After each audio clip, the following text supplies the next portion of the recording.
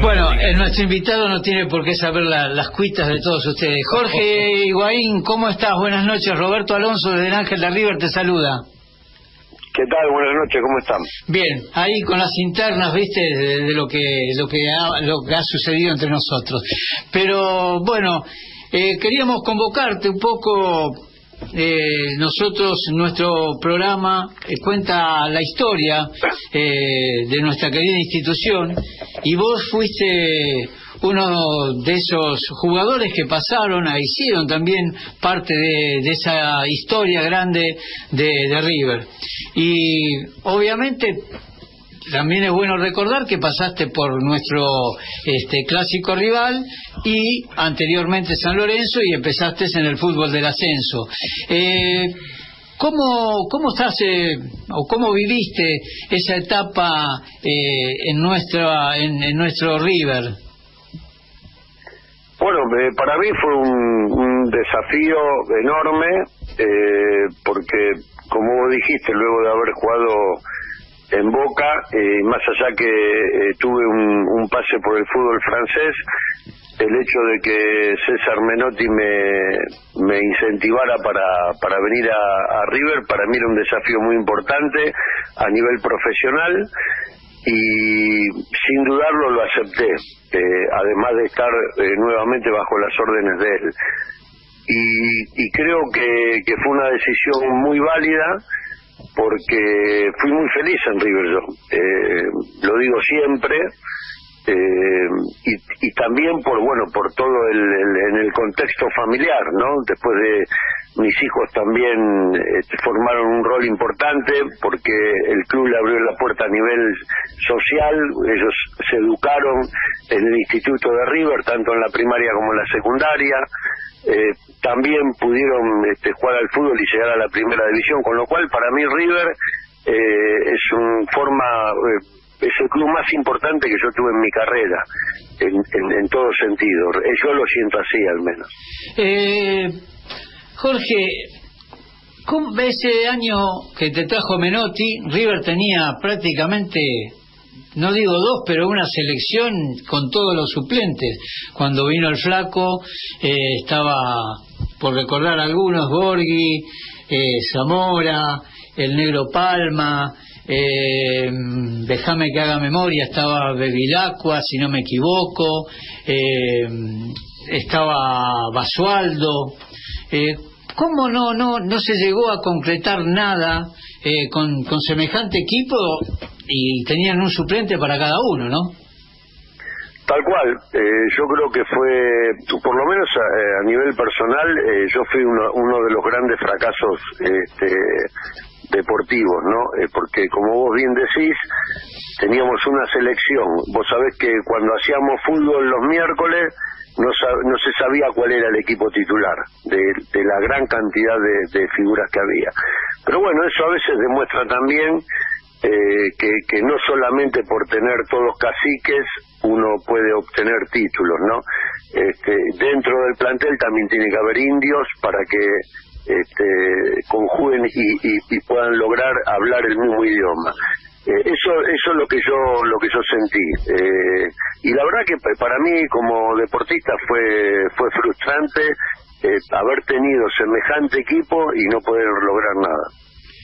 Jorge, buenas tardes. Eh, Daniel Galazo te saludo. Un gusto tenerte con nosotros. ¿Cómo estás? Muy bien, muy bien, te agradezco. Me alegro mucho. Decime, eh, yendo a la, intimidad del jugador, de aquel lejano Chicago donde vos empezaste, eh, hasta hasta River, que te hizo tan feliz esta etapa y a nosotros también, de verte y de, lo que de lo que se logró en campeonatos locales, hablo. Eh, ¿Cómo es el devenir del futbolista hasta llegar a un club como River. Eso se piensa, este, va llegando solo, fluye con la carrera, el jugador se detiene alguna vez a pensar que esto puede ser, digo, en, en, este devenir. ¿Cómo es eso que vive este, ese proceso de un jugador como en el caso tuyo que llegó a River? Eh, Bueno, mira, yo te, te, soy honesto, siempre lo digo, ¿no? Y que, se interprete bien lo que digo, ¿no? Yo creo que nací jugador de fútbol, eh, tuve en, en, mi, en, mi, en mi adolescencia tuve muchos problemas con mi padre porque mi padre quería que estudie y yo quería jugar al fútbol, le dejé el estudio, me quería matar, este, y, me mandó a trabajar y, y bueno, y yo este, le decía que quería ser jugador de fútbol. Él, en esa época, el jugador de fútbol no estaba muy bien visto, ¿no? Porque se lo asociaba con la noche, con la mujer, en fin, con un montón de cosas que no era para todos, por ahí era para algunos, ¿viste? Yo, en el caso mío, le dediqué, le puse el, alma y vida a la profesión, cosa que después él se llenó de orgullo, porque de los cuatro hermanos que somos, el único que no estudió fui yo, que dejé el estudio para, para dedicarme a esta profesión, pero a esta profesión le puse la vida, ¿viste? me inicié en un equipo del ascenso como Nueva Chicago, que eh, en esa época era muy complicado, era muy complicado tener la posibilidad de jugar en primera, eh, que, que, un jugador de la B este, pueda pueda ascender a, un equipo de primera y mucho menos de los grandes, ¿no? Eh, en esa época era al revés, el que no podía jugar en primera de los de los equipos de primera venía a jugar al, al fútbol del ascenso. Bueno, eh, yo lo que te decía, este, le puse la vida al fútbol, me formé, traté de, rodearme de los compañeros mayores en donde podía este, sacar conclusiones positivas, eh, todo lo que las dudas que tenía hablaba con los entrenadores que me tocaron en el momento y tuve muchos y buenos en el ascenso como también los tuve en primera. Y bueno, y después este cuando se me dieron las oportunidades, el caso de, saltar primero a San Lorenzo, luego a Boca, luego irme a Francia, bueno, eso fue también creo que un mérito propio de, de, ser un profesional este que le dio la vida, a la, valga la redundancia, a la profesión, fui un tipo serio y, y bueno, y, y los resultados, obviamente que yo estoy súper orgulloso de la carrera que hice, porque cuando era pibe no pensé que iba a jugar en los equipos que me tocó. Pero bueno, eso se lo dedico también a, la dedicación mía este, en cuanto a, lo profesional, ¿no? Vos recién nombrabas a entrenadores y en River tuviste la suerte de escuchar a un maestro.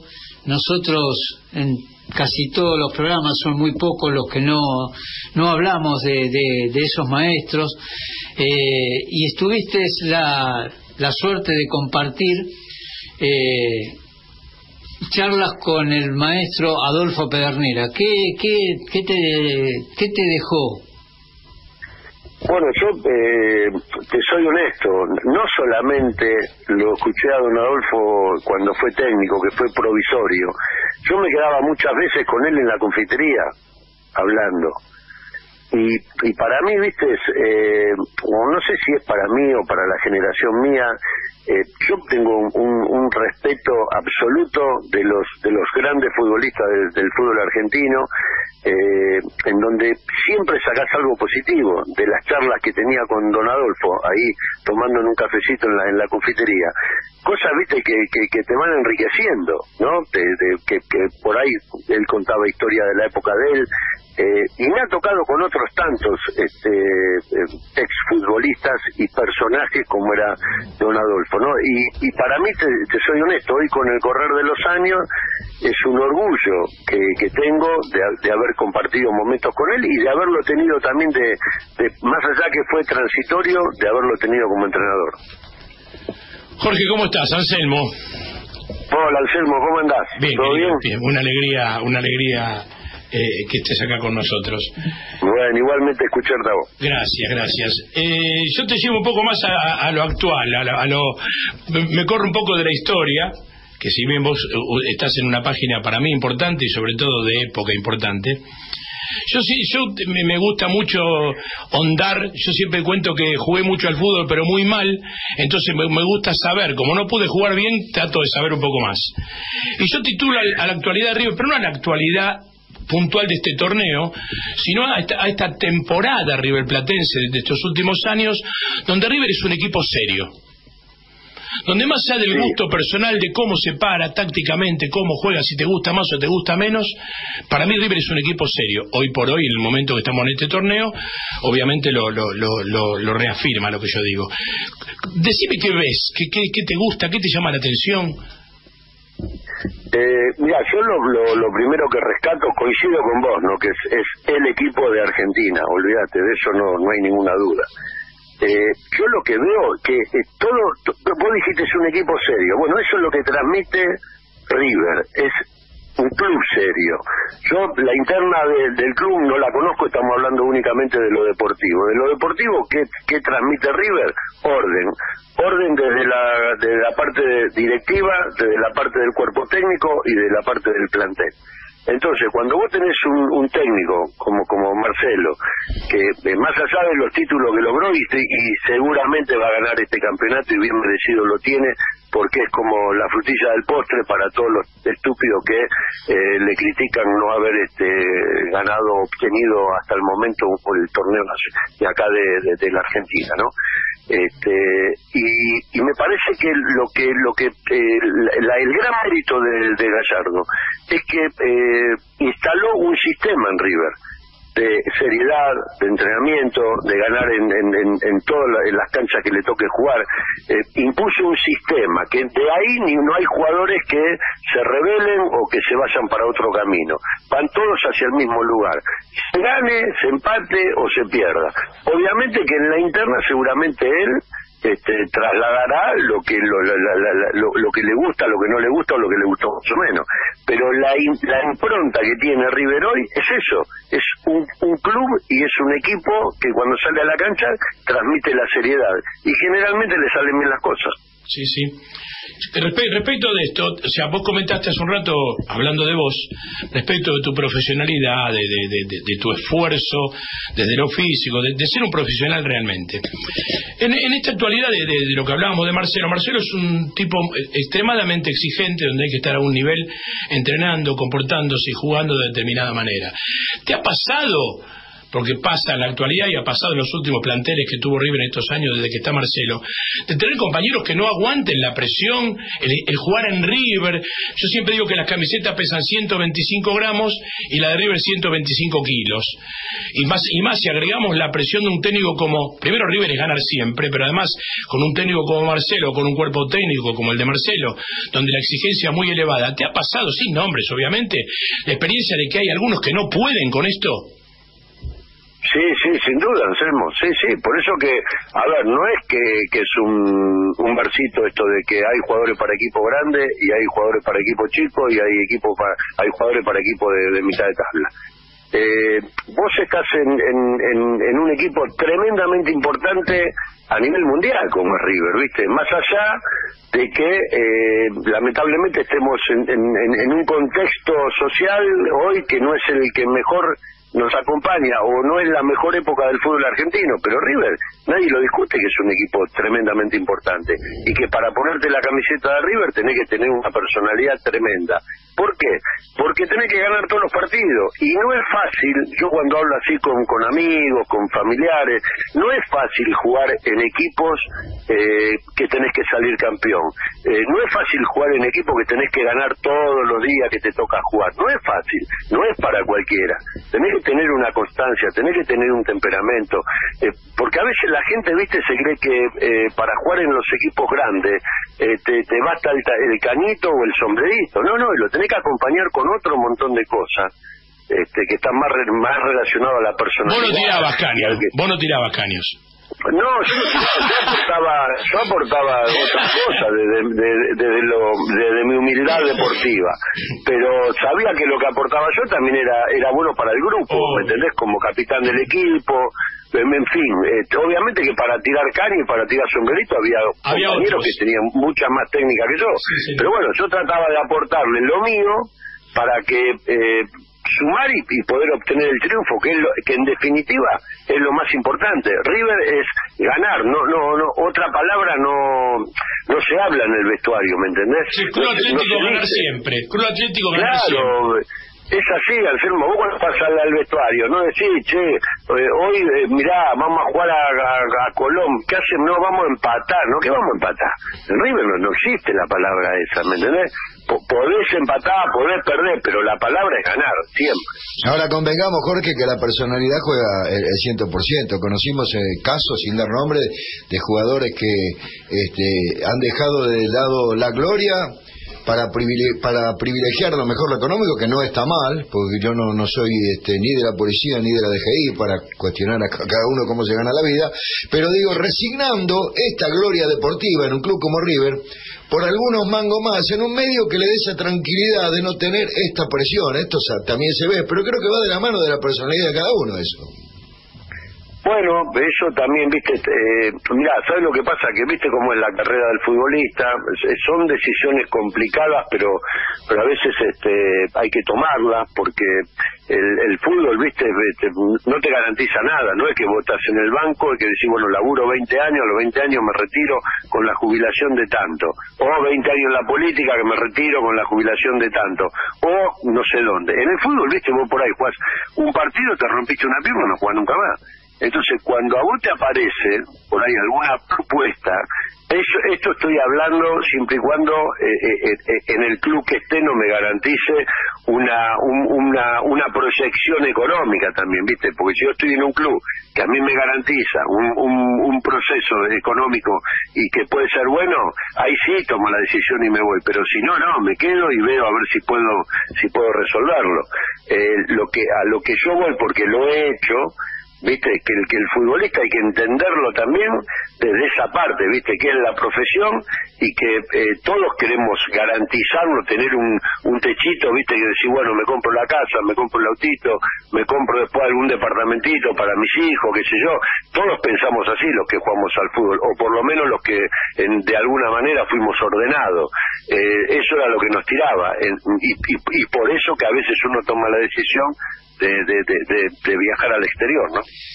Cuando llega el momento del retiro, en tu caso lamentablemente te tocó eh, irte, ya este, tenías pensado le habías prometido, creo, a tu señora eh, que te ibas a retirar, te llamó don, Valentín Suárez y te, te, cambió la idea y lamentablemente tuviste poco tiempo por lo que vos decías recién, ¿no? Se, te rompes una pierna o demás, vos ya estabas, digamos, en el final de, de, tu carrera y si bien es lamentable, este, lo tomaste con otra filosofía, pero eh, ¿el jugador se prepara para, para retirarse? Eh, jugador, viste como es, siempre quiere, siempre quiere jugar y siempre quiere jugar y siempre, bueno, yo lo que pasa que ya estaba grande, eh, eh, creí que ya yéndome de River, este, para mí ya estaba mi carrera concluida, y estaba de vacaciones cuando me pasó eso. Y la verdad que la traicioné a mi mujer porque le había prometido que no jugaba más. Y bueno este don Valentín muy hábil me convenció qué sé yo me, me ofreció un buen contrato y que obviamente no lo pude cumplir y lo resolví se lo firmé le rescindí el contrato sin cobrar absolutamente nada y, y, bueno, y es lo que te decía antes, ¿viste? A mí, gracias a Dios, me pasó a los 36 años. Se me cortó el tendón de Aquiles, no me recuperé, no pude volver a jugar. Pero mira si eso te pasa, qué sé yo, a los 20, 21 años. Eh, en donde obviamente que uno tiene por ahí la posibilidad de, de, de pelearla más, pero lesionado. Y pelear lesionado no es tan sencillo como por ahí la gente piensa. Sí, sí, además hubo casos eh, Subeldía, el técnico de Lanús, el chico de Vélez que, se le frustró la carrera de muy joven por un tema cardíaco. O sea, sí, aparte, la carrera del futbolista, del futbolista como persona tiene lo perverso que sos jubilado en la plenitud de tu vida humana. Entonces es bastante complejo este tema. Pipa, te saco, por eso te dije Pipa, antes te decía Jorge, contame algo de la vida del mejor Pipa de los dos. Y entre otras cosas, ¿cómo viviste esas sensaciones de que siendo un gran jugador, goleador en todo el lado, goleador en la selección, existía en algún momento, porque la selección no ganaba, alguna crítica no solamente a él, sino a algunos jugadores de la selección, despiadada e injusta respecto de la calidad individual de, muchos jugadores, entre ellos de tu hijo?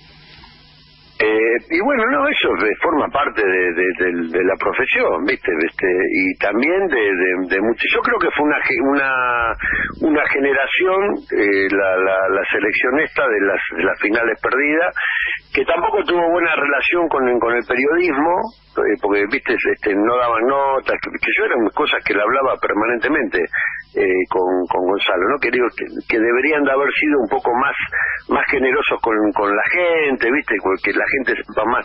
Pasa que eso también, ¿viste?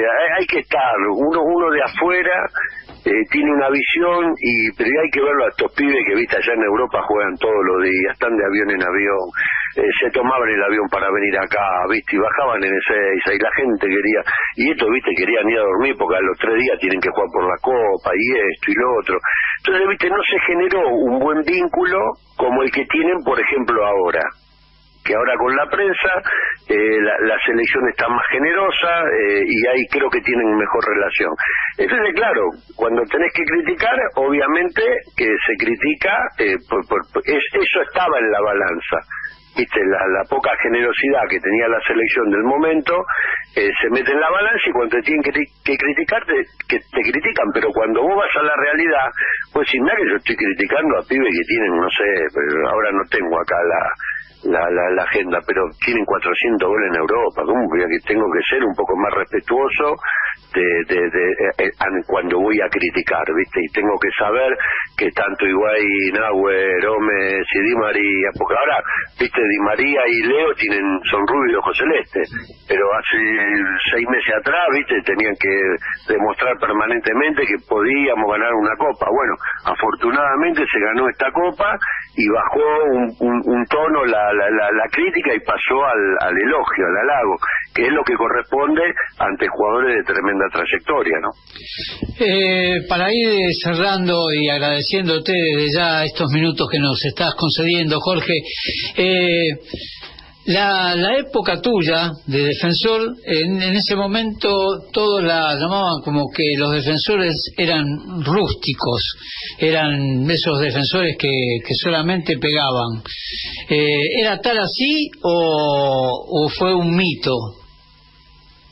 No, para mí es un mito. Eh, que, que sí, nosotros eh, al jugar con otra interpretación del reglamento teníamos algunos permitidos, sí, pero no hay ninguno que juegue pegando patadas. ¿Viste? Para jugar al fútbol, aparte de, de, lo que te decía anteriormente, la, la, personalidad, el temperamento, la preparación física, también tiene que ser inteligente.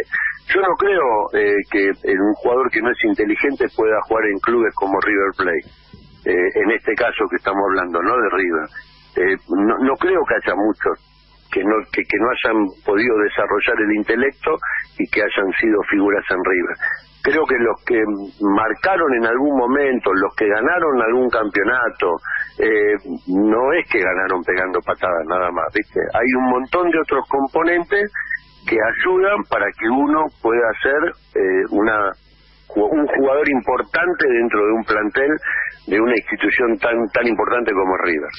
Eh, Jorge, yo tengo unos años más que vos, te he visto jugar obviamente, y recuerdo en algún momento vos nombraste a Nano Gandulla, que es de Boca, pero que le enseñaba a los chicos eh, en, una, en una jaula. Y de ferro. Y de ferro, y que le, enseñaba a los chicos este, a, pegarle la pelota en el frontón, eh, la famosa horca, que era la, la pelota a cabecear, todo eso.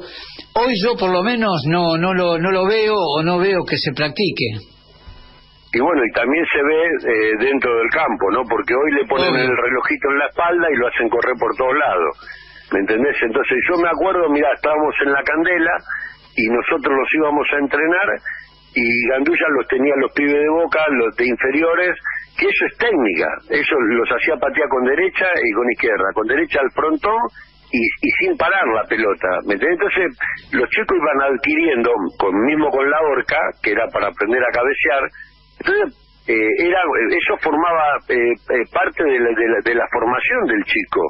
¿Me entendés? Y, y, no se ve más. Ahora vos ves que le ponen los, los, relojitos en la espalda y, y, le ponen una goma en la, en la cintura contra un árbol y, corren y vienen y van. Y le tienen que dar la pelota, ¿viste? La tenga. Yo creo que el fútbol argentino sacando eh, River, que es el único equipo que yo por lo menos veo que marca una diferencia dentro de un campo de juego, después yo veo que, hoy juegan como a sacarse la pelota de encima, no importa a quién comprometes, es como que tengo, tomar te la doy, arreglate como puedas, se la doy al arquero, lo comprometo al arquero, porque, viste, en, en la época nuestra se sabía a quién le teníamos que dar la pelota. Nosotros sabíamos, yo sabía que, y los jugadores sabían si miraban para atrás a quién le tenían que dar la pelota, para no comprometerlo, para no pasar un mal momento. Entonces yo veo que ahora se sacan la pelota de encima jugando un toque en, cualquier lado de la cancha, ¿por quién dice que hay que salir jugando de adentro del área este, a un toque y que el arquero la toque más que el, que el, que el 10 y que, y que, y que después, el, bueno, ahora ya Winner no hay más, porque es extremo, no sé cómo lo denominan ahora, y que llegan allá para, para, en vez de patear el centro, vuelven para atrás y la termina, y la pelota termina, este, la termina agarrando el arquero otra vez. Viste, son sistemas de juego que no es para todos los equipos, eh, no es para todos los países. Yo creo que nosotros deberíamos de repasar la, historia del fútbol argentino, en donde el fútbol argentino estaba lleno de, cracks, de, jugadores con una técnica impresionante y que por eso migraban para Europa. Entonces, no perdamos eso, ¿viste? Que es el origen nuestro, es el origen nuestro. Y yo veo que hoy hay muy pocos jugadores con técnica exquisita eh, en los equipos grandes del fútbol argentino. Sin duda, mira, decía el Beto Alonso, coincidiendo con, algo que yo venía diciendo antes que yo se lo escuchara, digo no porque yo estuviera adelantado, sino porque se lo escuché después a él, el hecho que se asombraba, como me asombré yo, a la velocidad que se choca y las cabezas rotas, esto no es, no es rugby, esto es fútbol. Esto es fútbol, esto es fútbol, digo, eh, sigue siendo, parece mala palabra, que alguien pueda poner la pelota en el piso y pensar un momento, ¿por qué tiene que hacerse todo a ciento y pico de kilómetros? Y adhiero a lo que vos decís, esto de, estar dotado para jugar un toque, en cuanto vos no estás dotado, lo comprometes a tu compañero con pelotas exigidas que pueden terminar en una, en una, en una lesión pero en una lesión y, y, si ustedes revisan, porque yo lo que hago a veces cuando estoy acá en casa aburrido, que me pongo a ver el fútbol mundial, todas las fallas que cometen y que terminan en gol en el arco tuyo.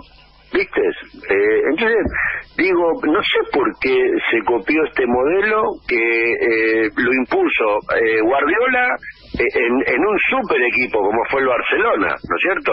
Con 11 cracks adentro del, campo de juego que, claro, con eso juega. Yo también, si soy el técnico, juego de esa manera. Pero digo, pero en, en el mundo no son todos los equipos iguales. ¿Viste? Entonces veo que se cometen errores permanentemente y que se sigue apostando a eso, a ver quién corre más, a ver quién este, choca más, eh, hay más lesiones que antes y se perdió lo que para mí era lo más importante, el arte, ¿no? Porque el fútbol es arte. Y, y, ya no hay más jugadores. Bueno, vos me nombraste al Beto, al Beto Alonso. ¿El Beto Alonso? ¿Dónde, viste, dónde encontrás uno como el Beto Alonso? ¿Viste? ¿Dónde encontrás un Bochini? ¿Dónde encontrás un... Y, si querés más a la época nuestra también, ¿no? Jugadores que tenían una técnica, Lenzo Francescoli, si querés, mismo Gallardo, Aymar, en fin, no sé, te puedo nombrar un montón. Y, y, y yo veo que, viste, que eso se va perdiendo y se reemplaza por el correr y por el chocar y por el reducir los espacios y, y por eh, y, aparte por eh, me parece a mí no a veces tácticas este, equivocadas porque salir jugando del área tuya cuando no tenés los jugadores eh, me parece que es un riesgo innecesario, ¿viste? Que se pueden emplear otros sistemas tácticos, que eso obviamente lo manejan los técnicos, pero pero bueno, nada, yo veo, eso es lo que no me gusta. Jorge, nos quedaríamos horas hablando, eh, generalmente con gente de futbolera como vos, allá de, al margen de, la experiencia de haber jugado. Eh, fue un gusto, fue un gusto, sabes el aprecio que te tengo y obviamente a partir de hoy el aprecio del programa entero. Muchísimas gracias, gracias por la, por la amabilidad de habernos aguantado tanto interrogatorio. No, por favor, es un placer y les mando un fuerte abrazo. Gracias, Jorge. Muchas gracias. Un gran abrazo, Jorgito. Chao, chao, chao.